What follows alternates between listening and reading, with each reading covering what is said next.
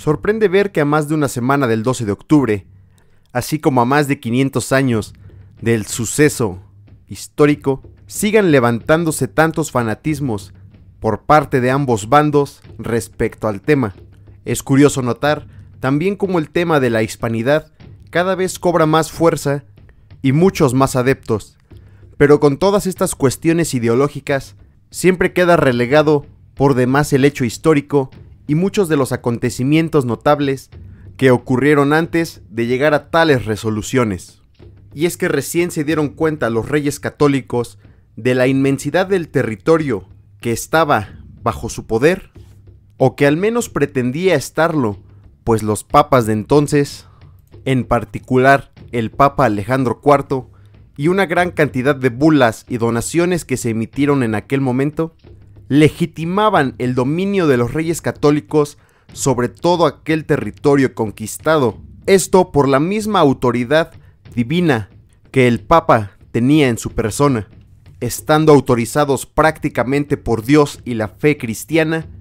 la conquista y la expansión de la fe sobre aquel inmenso territorio al que entonces llamaban las Indias era una obligación directa de los reyes, quienes basaban sus ideas de conquista en las de la guerra justa, planteadas por Aristóteles hace ya muchos siglos atrás. Pero era tal la crueldad que suponía llevarla a cabo que desde un principio, tan temprano como 1511,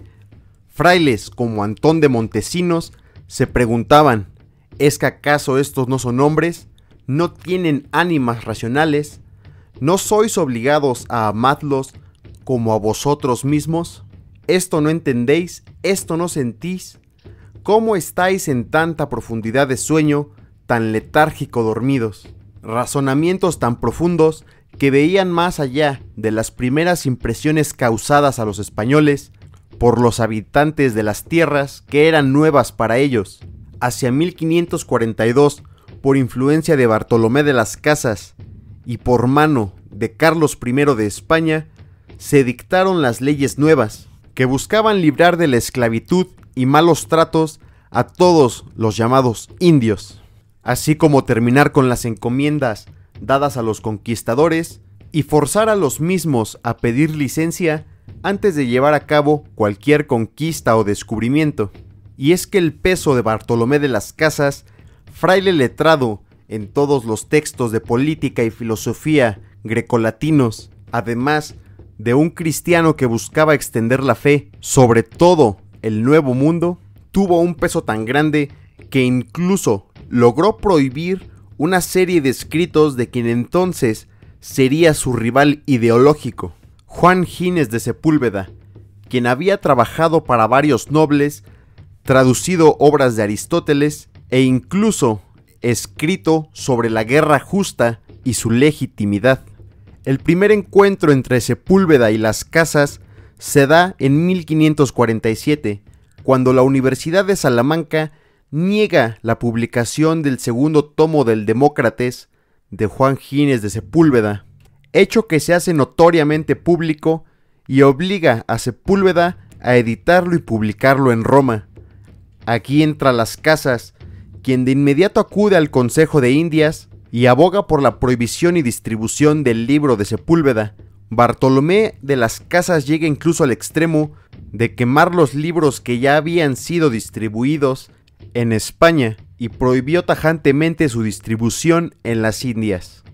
Fue tanto el ruido que se acumuló en torno al tema de la guerra justa en los territorios descubiertos que Carlos I se vio obligado a detener todas las conquistas y expediciones nuevas, en 1550.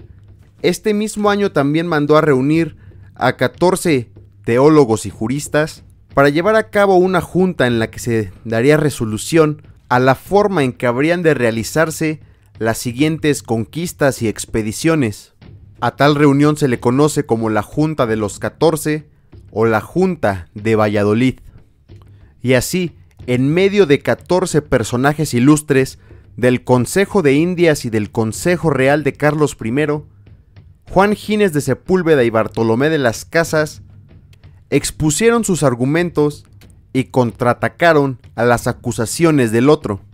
Es curioso que a pesar de sus riñas personales, ambos consintieran en una gran cantidad de puntos respecto a la guerra justa. Consentían, por ejemplo, que los líderes fueran quienes declararan la guerra a sus contrapartes,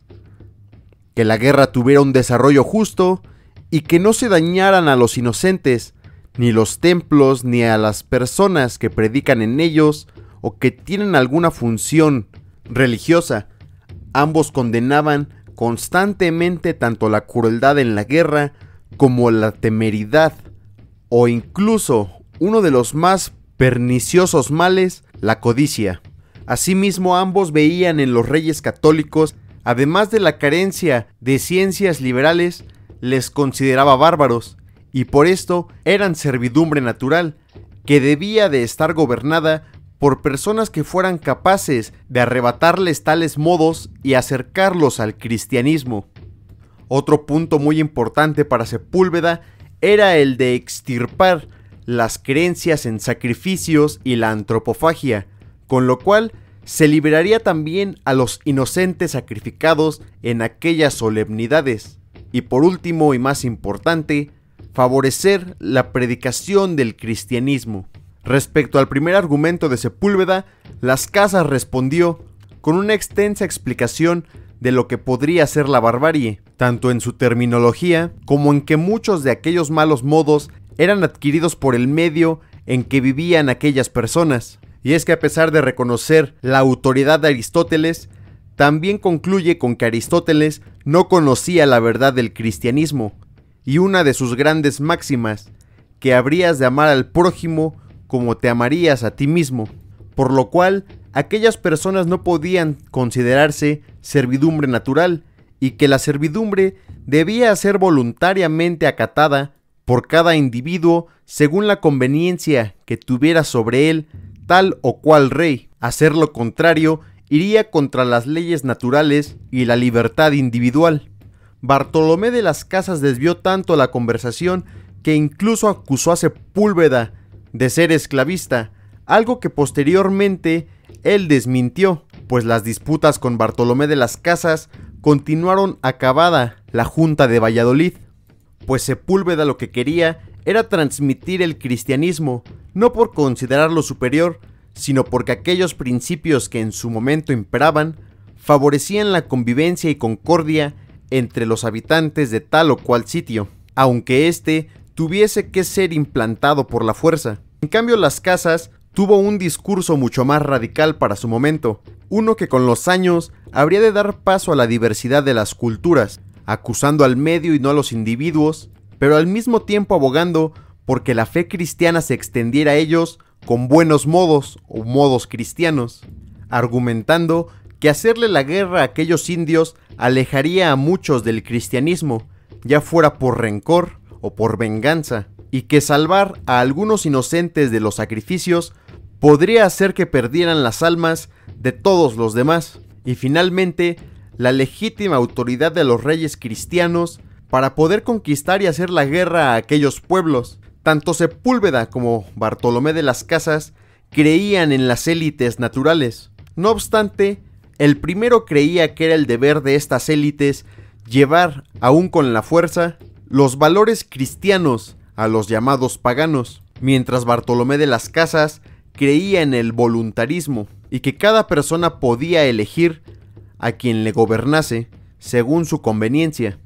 También continúa diciendo que aquellos jamás habían afectado a los cristianos y por lo tanto según las mismas leyes de la guerra justa aristotélica, los reyes cristianos no tenían autoridad ni derecho a hacerles ningún mal pues jamás se habían enfrentado unos con los otros y nunca se vieron amenazadas ni sus propiedades ni la fe que imperaba en España.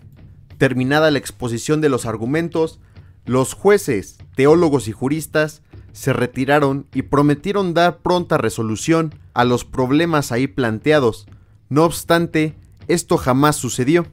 y paulatinamente el peso de aquellos argumentos perdió valor e importancia, aunque se cree que influyó en la redacción de las nuevas ordenanzas de 1573 e incluso sobre la conquista de Filipinas, pues sin duda los métodos de conquista fueron mucho más moderados que los llevados a cabo en el Cusco o Tenochtitlan.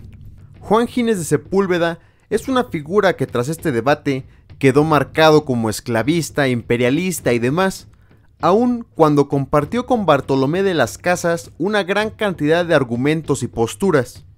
Probablemente porque las Casas continuó escribiendo y publicando, mientras todos los artículos, libros y demás escritos de Gines de Sepúlveda fueron prohibidos, y muchos de ellos fueron publicados tras su muerte. Sin duda, este es uno de los debates más polémicos y curiosamente poco conocidos entre la gente que se posiciona a algún lado de los llamados indigenistas o hispanistas, mismo que sentó las bases de dos grandes argumentos en aquellos bandos, la teoría del buen salvaje por parte de los indigenistas y el de la superioridad cultural por parte de los hispanistas. Me hago nombrar Chichimeco, y si este tipo de contenido te gusta, no olvides de dejarme un comentario, dejar un pulgar arriba en este video e incluso buscarme en mis redes sociales donde comparto mucho contenido similar. Y te espero en el próximo video.